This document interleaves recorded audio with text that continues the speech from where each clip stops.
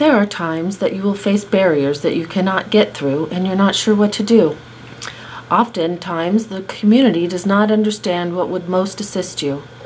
With our help, you can receive the education, resources, and support that will benefit you most.